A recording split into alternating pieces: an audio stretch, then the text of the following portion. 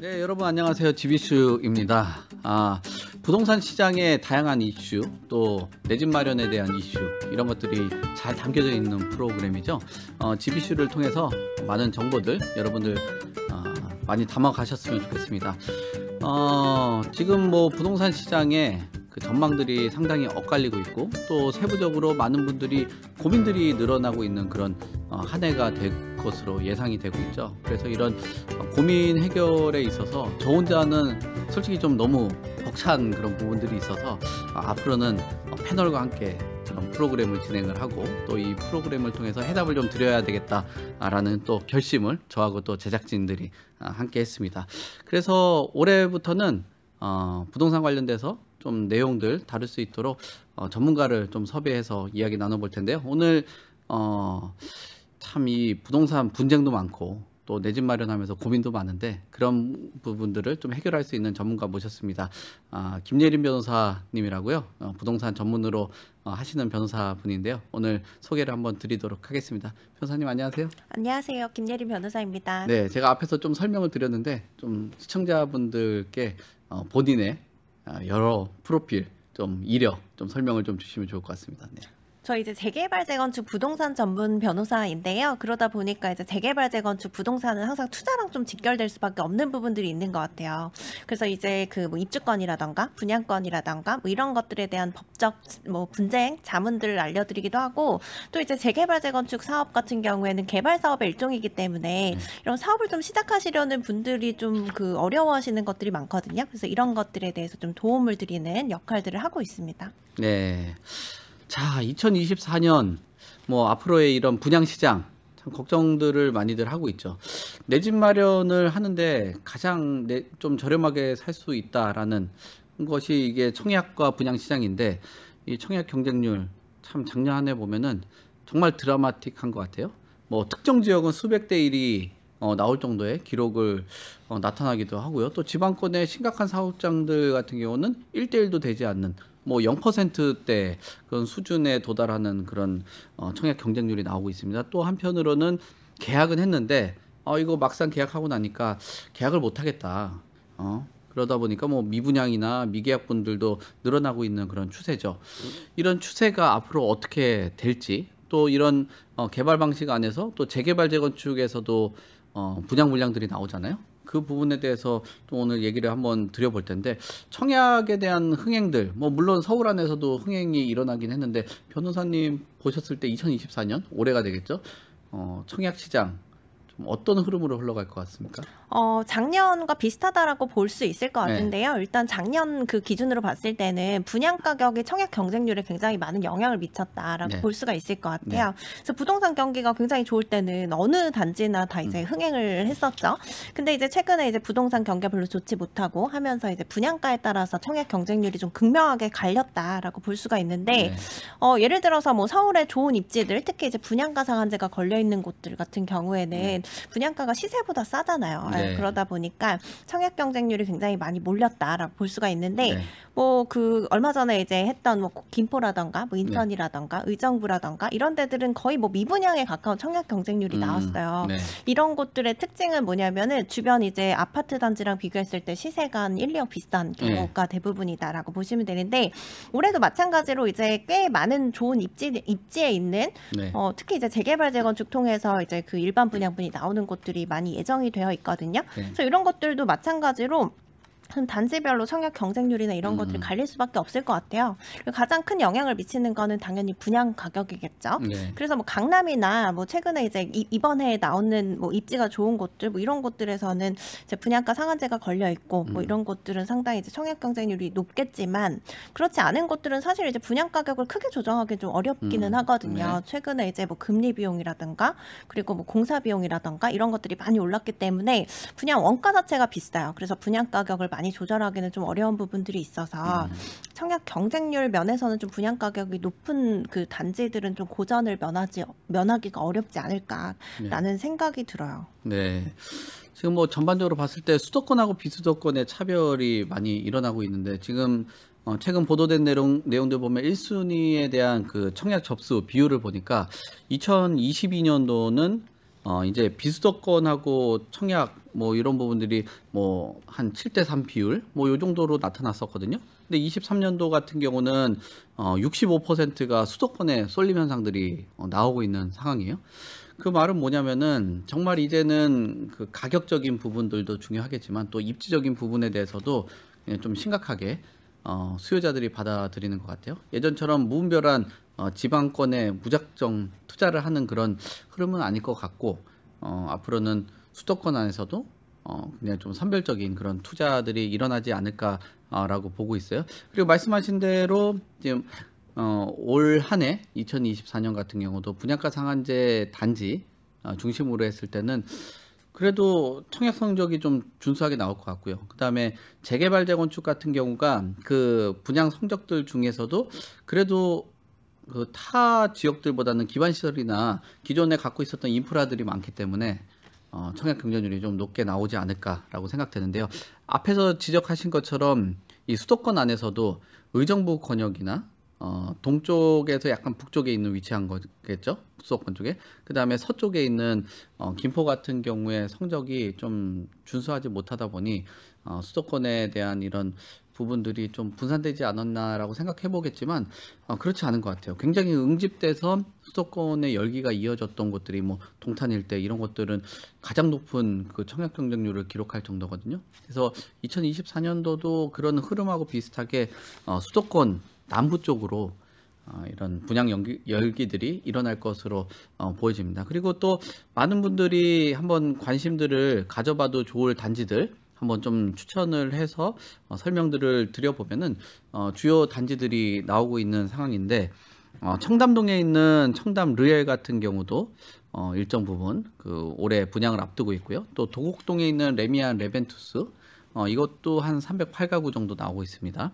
어, 이곳이 이제 아무래도 분양가 상한제가 적용되는 지역이겠죠. 그 다음에 반포동의 레미안 원펜타스 같은 경우도 어, 641가구 정도 나오고 있고요.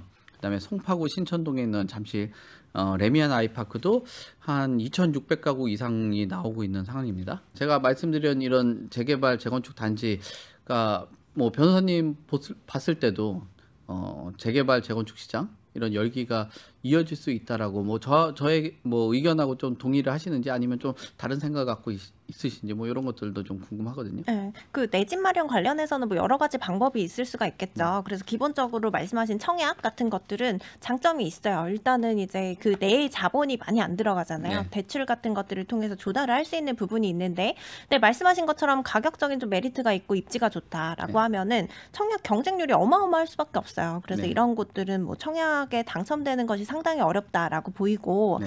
그리고 이제 분양가 상한제가 적용되는 지역에 특히 이제 규제 지역 같은 경우에는 청약 요건도 좀 까다롭다라고 보실 수가 있거든요. 그래서 뭐 이런 부분들이 조금 내가 그 불리하다라고 생각이 드시면은 재개발 재건축 투자도 좀 노려 보실 수 있을 음. 것 같아요. 그래서 재개발 재건축은 간단히 설명드리면은 내가 그 구역 내에 어떤 주택을 산다, 그또 토지를 매수를 한다라고 했을 음. 때 나중에 그 조합원으로서 싸게 아파트를 입주할 수 있는 권리를 얻는다라고 보시면 되는데 이 청약과 좀 그 비교했을 때 그 차이점은 좀 오래 기다려야 될 수 있다는 부분이 좀 잔점으로 보이실 수는 있죠. 대신에 이제 그 좀 저렴하게 또 매수를 하실 수 있는 부분이 있고 시기적으로는 네. 그리고 또 이제 그 청약에 비해서 어, 좋은 동호수, 좋은 평형 같은 것들이 보통 조합원한테 배정이 되기 때문에 네. 이런 것들에 있어서는 조금 메리트가 있을 수 있다라고 볼 수 있는데 이 재개발 재건축 사업은 사실 그 말씀드린 대로 좀 사업이 중단되거나 지연되거나 하는 리스크들이 많기 때문에 사실 좀 선별해서 투자하셔야 될 필요는 네. 있어요. 근데 다만 이제 청약 같은 경우에는 내 자본이 처음에 조금 들어가고 그리고 대출 같은 것들로 이제 조달을 할 수 있다라고 하더라도 네. 분양가 상한제가 걸려도 말씀하신 그런 강남의 대단 그 단지들은 상당히 분양가가 높을 수밖에 없잖아요. 그렇죠. 그래서 일반적으로 접근이 좀 어려울 수가 있는데 재개발 재건축 같은 경우에는 이제 소액부터 좀 다액까지 다양하게 접근할 수 있는 상품들이 많이 있다라고 보시면 좋을 것 같고요. 그래서 이제 내 사정에 맞게끔 이제 그 선택을 하셔서 내 집 마련을 하시거나 투자처를 마련하시면 좋을 것 같은데 네. 사실 재개발 재건축 시장도 지금 별로 좋 지는 못해요. 예, 음. 부동산 경기 자체가 별로 좋지는 않기 때문에 따라서 가는 측면은 있는데 근데 이제 뭐 금리가 높다라고 했을 때는 재개발 같은 경우에는 또 소액 소액으로 투자할 수 있는 곳들이 있거든요. 예. 그렇게 됐을 때는 좀 금리 부담으로부터 자유로울 수 있는 상품들이 있기 때문에 예. 이런 것들을 좀 선호하시는 분들도 있는 것 같고 그리고 이제 최근에 뭐 신통계획이라던가 모아타운이라던가 뭐 이런 것들을 서울시에서 좀 밀어주다 보니까 사업이 되게 활발히 가는 것처럼 보이거든요. 예. 그래서 그런 것들 때문에 좀 재개발 재건축 단지 중심으로 좀 그나마 거래가 좀 많이 됐다라고 볼 수가 있을 것 같아요. 근데 이제 주의하셔야 될 거는 재개발 재건축 사업 수익성이 예전만 못하다는 거죠. 그래서 예전에는 이제 그 재개발 재건축 같은 것들 뭐 소액으로 투자해서 엄청나게 많은 많이 벌었다 뭐 이런 사례들이 있는데 어 최근에는 이게 그 수익성이 좋은 재개발 재건축 그 사업지를 찾는 게 상당히 어렵다라고 보시면 돼요. 예. 그래서 수익성이 좋은 것들이 이미 다 개발이 됐다거나 특히 이제 재건축 같은 경우에는 재건축 초과이익 환수제도 적용이 되거든요. 그렇게 되면 이 부담금만 몇 억씩 나오니까 사실은 이제 그 수익성이 많이 떨어질 수밖에 없는 상황으로 보시면 되고 어 그래서 이제 그 아주 큰 수익을 누리기는 조금 어렵지만 어쨌든 간에 내 집 마련을 하기에는 좀 그 하나의 방법이 될 수 있다라는 그 생각으로 좀 접근하시면 좋을 것 같습니다. 네. 자, 그러면 이 정도로 정리를 하고요. 요 내용들하고 좀 이어지는 그런 질문들이 어, 들어왔습니다. 참, 이 오산세교라는 지역이 있는데, 그 오산시죠, 경기도.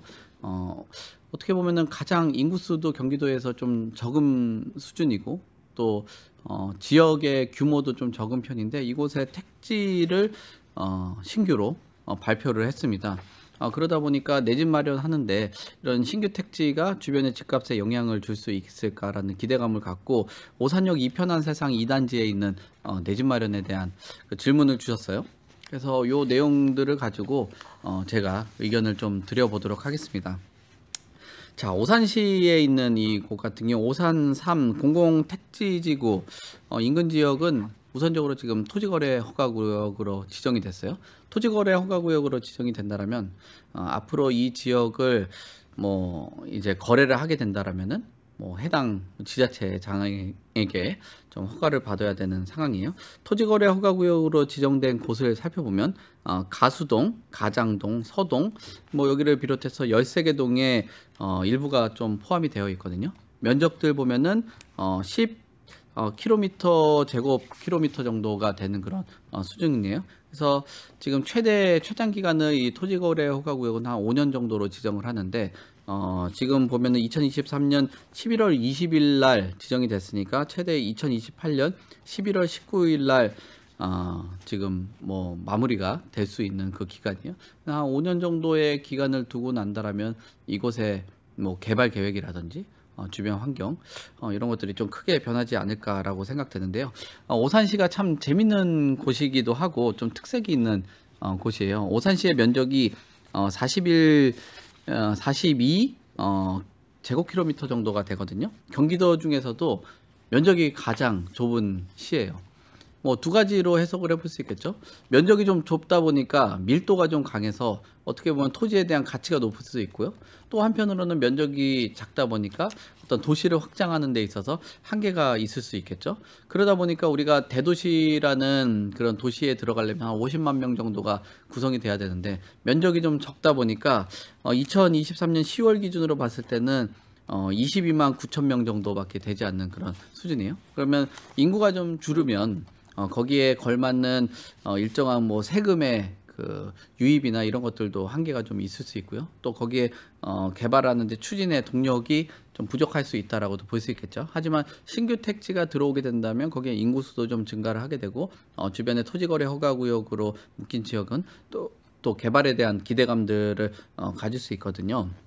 그래서 이런 부분들에 대해서 조금 어, 투자나 또는 내 집 마련을 하시려는 분들의 그 계획들이 있는 것 같습니다. 변호사님이 보실 때 이 토지거래 허가구역 관련돼서 좀 투자하시는 분들도 있고 또 여기에 토지라든지 이런 것들 매입하시려고 하시는 분들 어, 뭐 이런 부분들이 있을 수 있다라고 보여지는데 그 토지거래 허가구역에 어, 지정이 된다면 역시나 뭐 제약이 있는 거죠.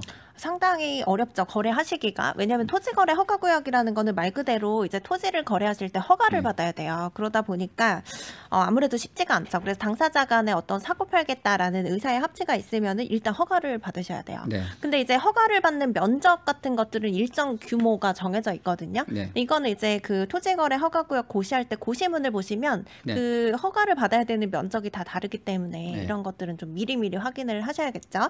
그리고 이제 그 토지 거래 허가 구역에서 허가를 받아서 뭐 매매 계약을 체결하게 된다라고 했을 때 어 이제 그 주거용지 같은 경우에는 실거주를 하셔야 돼요. 2년 네. 동안. 그리고 네. 이제 상업용지 같은 경우에도 일정 기간 또 상가를 사용 수익해야 되는 부분들이 있기 때문에 이제 여러 가지 뭐 자금 계획 측면이라던가 그리고 거래의 조금 난이도라던가 뭐 이런 것들 봤을 때는 토지 거래 허가 구역 내에서 많은 거래가 일어나기는 좀 어렵다라고 네. 볼 수가 있고 그렇기 때문에 오히려 토지 거래 허가 구역 내에서는 거래의 숫자가 많지가 않잖아요. 그래서 이제 가격이 좀 왜곡될 수 있다라는 부분들은 좀 감안을 하셔야 될 것 같아요. 네. 그래서 오히려 거래가 가능한 토지들이 쉽지가 않기 때문에 뭐 이런 것들에 있어서는 조금 더 비싸게 거래된다거나 뭐 이런 부분들이 있을 수가 있고 이제 아까 말씀드린 것 처럼 뭐 실거주 의무라던가 그리고 일정 부분 직접 이제 그 네. 영업을 해야 되는 뭐 이런 그 제약들이 있기 때문에 어 실제로 지금 뭐 예, 예를 들어서 아파트를 거래하신다라고 하면 현재 임차인이 거주하고 있으면은 네. 이 임대차 계약이 계속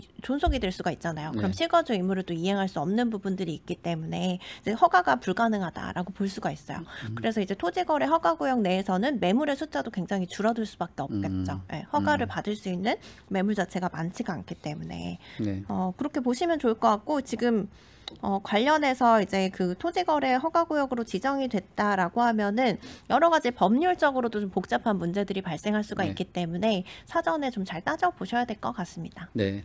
그래서 그런지 이 그 신규 택지 주변에는 거래할 수 있는 매물들이 없다 보니까 어, 오산역 일대에 있는 어, 이 편한 세상의 그 2단지 여기에 내 집 마련을 하시려고 좀 고민을 하는 것 같아요.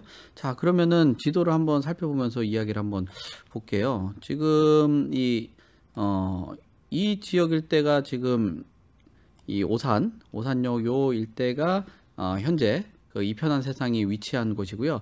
좀 상단 쪽으로 이동을 하다 보면은 어, 이 지역이 전반적으로 봤을 때는 그 좀 큰 핵심 그 뭐랄까요?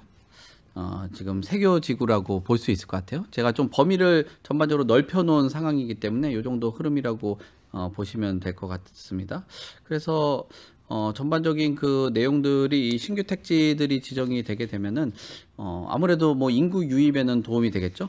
이곳에 좀 신규 택지로 유입을 하게 된 이유를 보게 된다면 하단 쪽으로 보게 되면 평택의 그 삼성 산업단지도 있고요. 또 주변 일대 보시다시피 어, 동탄의 일반 산업단지들이 있거든요. 그러니까 상단에 그 이 동탄 산업단지가 있고 또 하단 쪽에 어, 삼성 삼성이라는 그 산업단지 또 어, 용인의 반도체 클러스터가 향후에 개발이 되게 되는 그런 과정을 겪고 있거든요. 그렇게 되면은 여기에 배우 수요들이 필요할 거 아니에요. 그럼 배우 수요들이 어, 살 수 있는 주거의 질이 높고 또 새롭게 택지가 조성될 수 있는 곳이 어, 어디겠냐라고 본다면 지금 이 어, 신규 택지 후보로 되어 있는 어, 지금 오산 세교 어, 삼지구라고 보시면 될 것 같아요. 그래서 어, 이곳을 바라볼 때 어, 지금 뭐 토지거래 허가구역으로 지정도 되어 있고 또 주변 일대 지금 당장 집이 없기 때문에 어, 좀 가격이 상대적으로 좀 저렴한 어, 오산역 이편한 세상을 보신 것 같습니다. 자, 최근 들어서의 그 동향들을 한번 살펴볼게요. 자, 최근에 그 오산역 이편한 세상 어, 2단지를 살펴보면은 단지 정보를 한번 살펴보면은 한 1360세대 정도가 됩니다. 어, 세대는 한 18개 동으로 되어 있다 보니까 단지의 구성이나 이런 측면은 뭐 긍정적이라고 볼 수 있겠죠. 사용 승인일도 보시게 된다라면은 어 2007년 정도 되는 그런 아파트예요. 어 물론 신축하고는 좀 거리감이 있는 아파트긴 하겠지만 그래도 어 상당히 그래도 뭐 단지 구성들 뭐 이런 것들이 좀 부족하지는 않은 그런 수준이라고 보시면 될 것 같고요. 용적률은 228% 정도 됩니다. 그러니까 어, 재건축하고는 전혀 뭐 상관성이 좀 떨어지고 어, 거주적인 측면으로 바라봐야 되는 그런 아파트라고 보시면 되고요. 건폐율은 한 13% 정도 되니까 어, 동간거리가 좀 일정하게 확보가 되어 있어서 뭐 채광이나 단지 쾌적성들은 어, 좋은 그런 아파트라고 보시면 될 것 같습니다. 자, 그래서 최근 실거래에 대한 그 흐름들을 한번 살펴보면은 어, 지금 전반적으로 봤을 때 가격선들이 2018년부터 2021년 어, 말까지 어, 계속적으로 상승하는 국면이에요. 그러니까 최 가격들이 거래량들도 많이 늘어나고 가격들이 꾸준하게 상승을 해왔지만 어, 뭐 몇 년간의 거래는 뜸한 그런 상황이고 2023년 들어서는 거래가 2021년 대비했을 때 상당 부분 가격이 많이 좀 하락한 그런 상황이라고 보시면 될 것 같고요. 최근에 거래가 몇 개 일어나면서 어, 예전보다는 뭐 회복했다라고 볼 수 있겠지만 역시나 그 고점 대비했을 때는 여전히 어, 그 높이의 격차가 상당히 존재한다라고 보여지고요. 그리고 만약에 전세를 활용해서 갭 투자를 활용을 하겠다라고 보시는 분들 보시면은 지금 봤을 때는 어, 매매가 대비했을 때 전세가가 약 한 70% 정도 되거든요. 그러면은 한 지금 금액 나와 있는 매물들 또 최근 거래된 그 내용들을 한번 살펴보면 한 4억 선 정도라고 하면은 어, 한 1억 2천 정도, 1억 정도를 가지고 투자를 할 수 있는 그런 어, 상품이라고 볼 수 있을 것 같아요.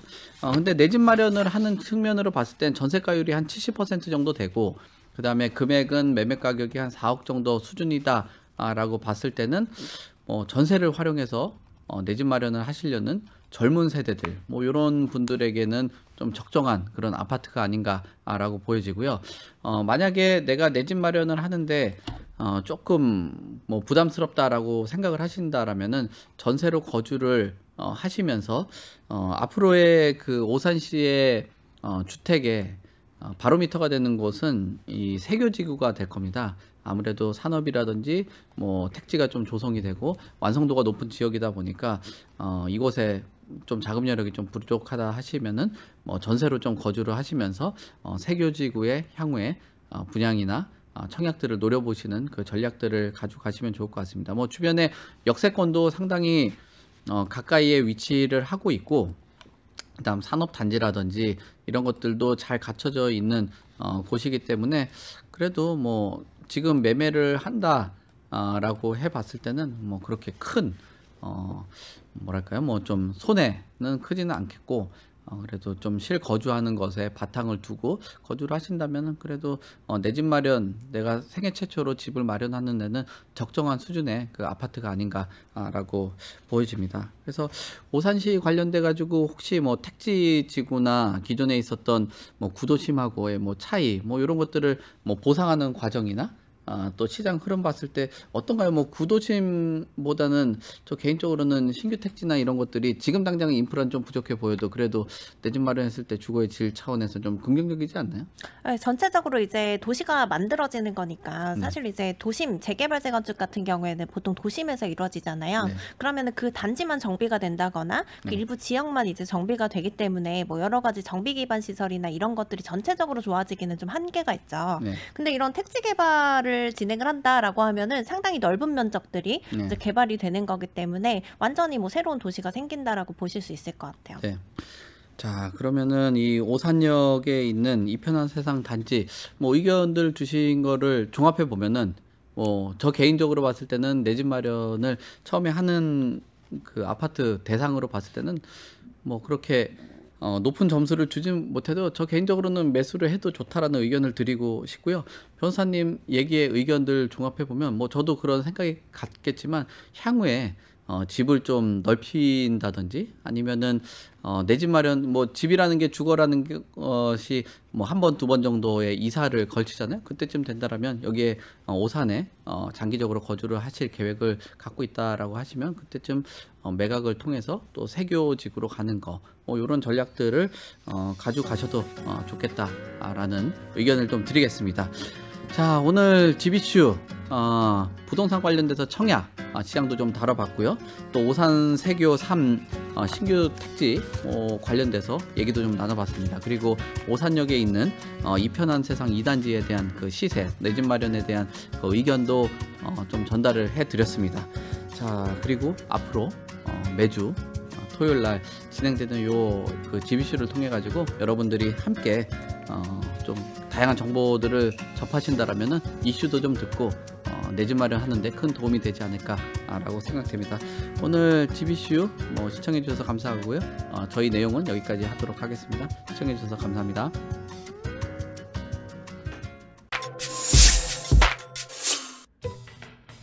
좋은 차를 사기 전에도, 이사를 가기 전에도, 크게 다치기 전에도 항상 미리 대비를 해놓는데 부동산은 왜? 사전 점검 서비스는 부동산 매물을 사거나 짓거나 하기 전에 법률부터 부동산 정보까지 한 번에 미리 대비하는 서비스입니다. 영상에 나오는 연락처로 많은 신청 부탁드립니다.